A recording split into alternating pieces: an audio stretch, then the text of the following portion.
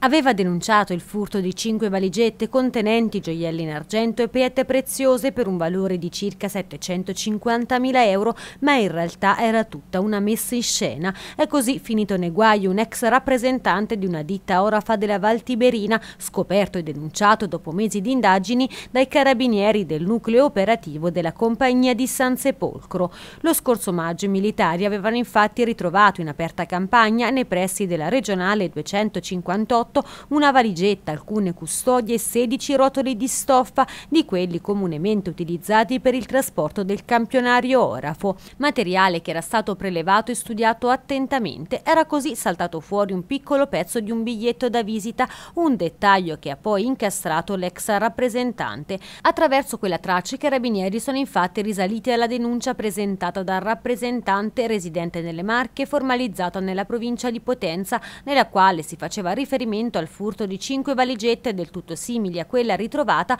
portate via da un ladro dopo la spaccata di una macchina. Aveva così preso avvio un'attenta e complessa attività investigativa che dopo qualche mese e i necessari riscontri ha portato ad individuare e denunciare il rappresentante orafo per aver riscenato il furto ed essersi appropriato dei beni in questione.